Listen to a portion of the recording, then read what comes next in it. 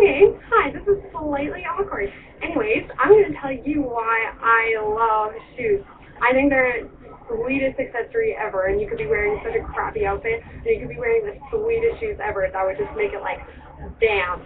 So yeah, I really like the Nike stuff because it's so they look so sweet.